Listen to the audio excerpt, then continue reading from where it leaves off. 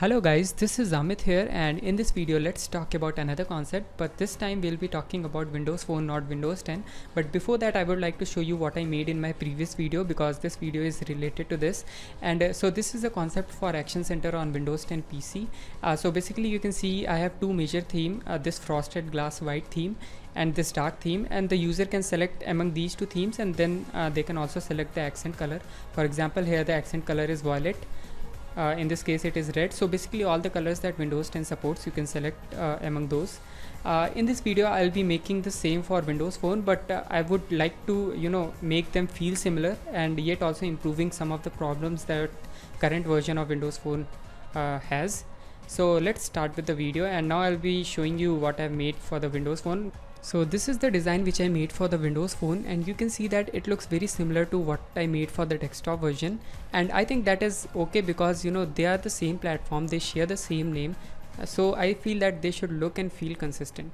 The second thing that you can see is that uh, I have quick toggles at the bottom not at the top because I think that as the screen size is increasing with every phone it becomes very difficult to take your finger at the top and then select these quick toggles.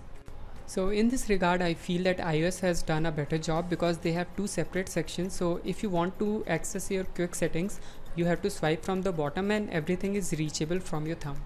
And I think it is a better design practice and as the screen size is going to increase I think even Android is going to be you know compelled to bring something like this because I've seen S8 and S8 Plus and they are very easy to hold on your hand but uh, they are very difficult to actually reach to the top portion. So basically I think that uh, even in case of Windows phone you should have uh, quick toggles at the bottom not at the top.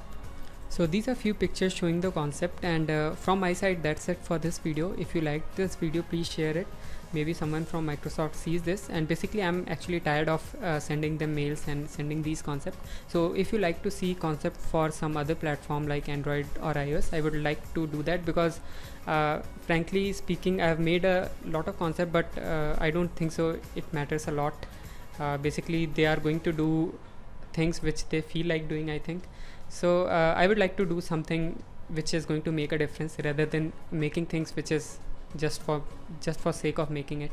So uh, basically if you like this please share it. Uh, i would appreciate that. And if you like my videos in general you can subscribe. And uh, that's it. Have a good day. Bye